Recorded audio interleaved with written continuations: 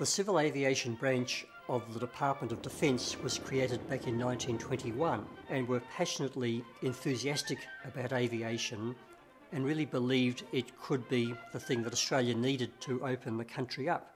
But then they knew that at the time there was an inherent concern over the, the safety of flying.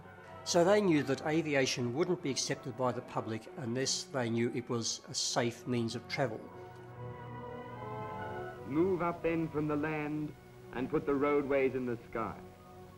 I can recall from day one when I joined the department all those years ago, it was instilled into us that whatever we did in the organisation, whether it was from shuffling papers up to the highest echelon, you were directly part of that link of aviation safety safety was sort of the watchword. we considered we were practitioners of air safety. I can't remember walking away from a job or flying away from a job with the people I worked with knowing that we hadn't done it properly. You always persisted until you did the job right. It wasn't just another job, it was something to be very proud of. You were personally part of this aviation safety chain, and it really tempered whatever you did.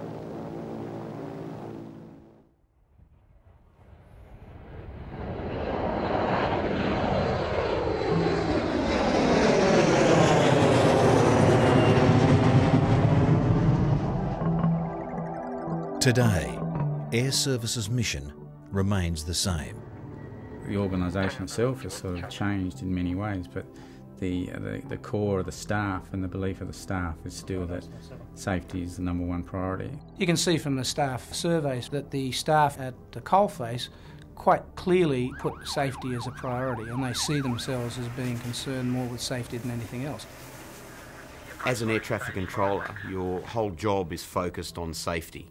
That is why we are there. If I'm safe, I'm looking after the people around me, then that looks after the safety of the job, the equipment, that then leads on to aircraft and people that sit in planes.